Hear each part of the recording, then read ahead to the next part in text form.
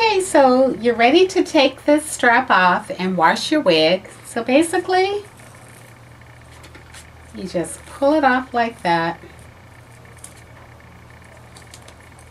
Looks like this. So just use your hand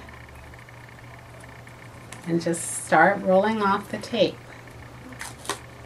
And then you can get it enough to where you just pull it off.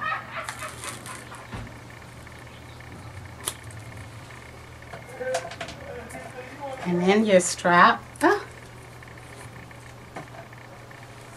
your strap's are all ready to use again.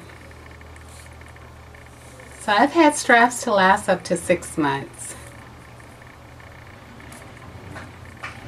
Okay, thank you for watching.